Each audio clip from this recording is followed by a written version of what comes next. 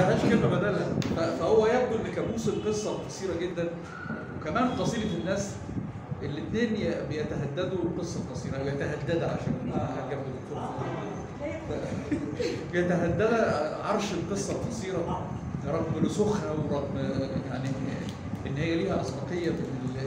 الفنانين دول اللي هو زي ما الاستاذ رفيع قال إن التكنولوجيا عملت كده ولسه ما إحناش عارفين هو هو بيدرس دلوقتي ال- الكوانتم كمبيوتر القانون بتاع مور اللي هو قاله لنا في الزحمة ده كده. فيبدو إنها ليلة مش فايتة. أنا أنا يعني مش هاممني لأن أنا مؤكد أنا مش هحضر الجيل ده يعني. لكن ممكن الواحد يبعت روحه غلاسه كده تهيمن على حاجة تعمل مصيبة يعني. طبعا البداية الإهداء ما اتكلمناش عن الإهداء خالص. ال- الإهداء قاسي جدا. يعني الإهداء لوحده قاسي جدا ويمكن ليه ليه دخل بتكوين نفسية ال photographer العظيم اللي هو كاتب عن نفسه فنان هو كاتب فنان photographer يعني هو أصدر حكم خلاص هو فنان فمحدش فينا يقدر يتكلم يعني. مشكلة ال photographer وأنا متربي في بيت كله بورتريهات. فكنت بشوف معاناة اللي بيرسم بورتريه ده بياخد وقت قد إيه؟ قياس الزمن أنا بتكلم هنا على قياس الزمن. فيبدو إن حصل خلط هنا.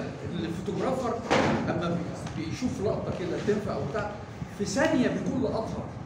مش مشكلة. يعني ما عندوش معاناة اللي هيقعد يرسم بورتريه فياخد فيه شهور مثلا أو كذا أو كذا.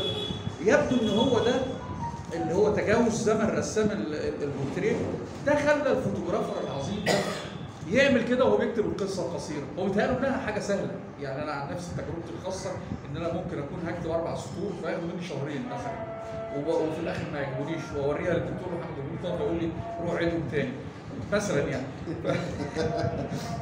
ف... ف... فهنا بيبين في عدد من النصوص أنا كان ممكن أبين علامات هنا إن هو إما إن بتخيلوا ال- القصة القصيرة جدا يعني يبدو إنها من فطرات نفسه عجباه على أساس إنها يعني هتبقى حاجة سهلة أو كده.